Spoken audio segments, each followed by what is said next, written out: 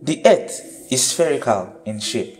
Shouldn't this mean that some people should walk, run, and drive upside down? This question is addressed in the video.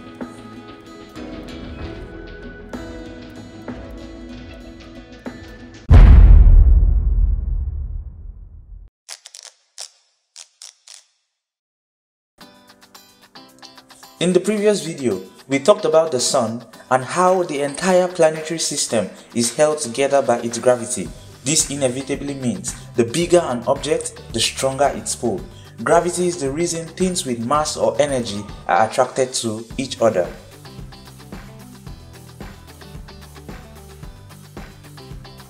We are drawn to the earth by its gravity and because down is the center of the earth, people all over the world have their down as being the center of the earth. We are drawn to the earth and have a sense of being stuck on its surface because the mass of earth is so much greater than the mass of everything on it. So everyone is pulled in the same direction. Gravity helps us maintain our balance as we travel around the earth. So if it were to become too strong, we will be unable to move as we easily do now.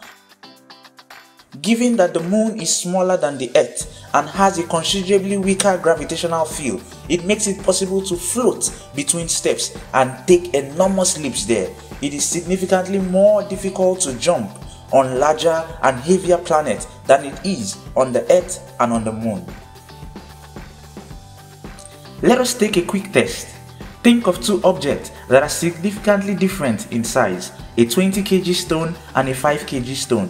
If both items are lifted to the same height and let to drop to the floor, which stone is going to fall first?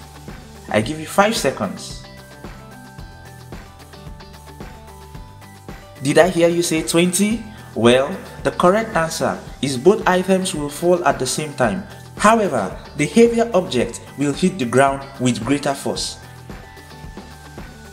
Another interesting take people believe you add just a little height as you sleep because as you walk, gravity contracts your spine slightly. Short people may have done a lot of walking when they were smaller. Just joking.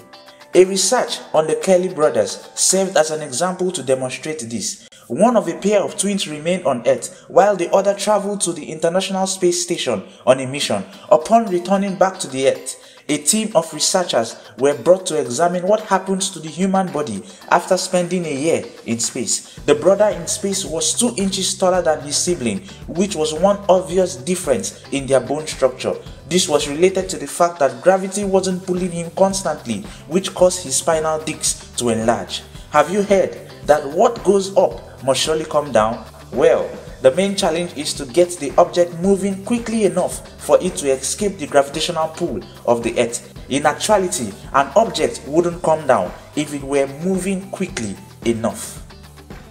Did you learn something new in this video? Share what you learned in the comment section. Please hit the like button and subscribe. See you next time.